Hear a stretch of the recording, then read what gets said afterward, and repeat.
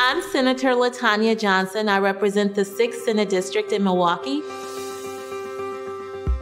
The 6th Senate District is home to the Wisconsin Center District, which includes the Fiserv Forum, which is home to our NBA champions, the Milwaukee Bucks. The downtown is a really thriving area. You can see a show, you can see a basketball game, you can go to a conference. It is just the best of what Milwaukee has to offer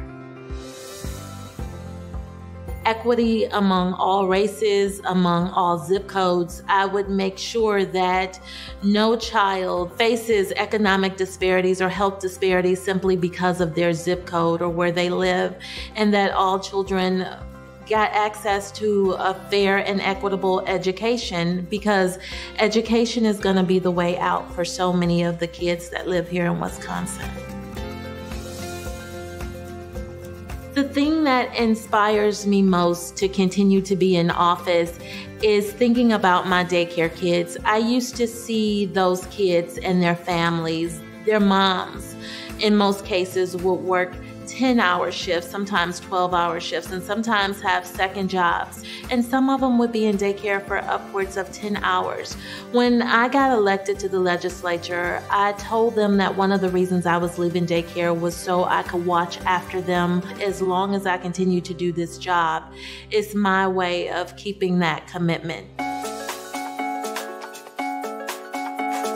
Awesome, magnificent and courageous. Usually, um, for the hour and a half drive, I'll listen to news like CNN or MSNBC. Sometimes I listen to music.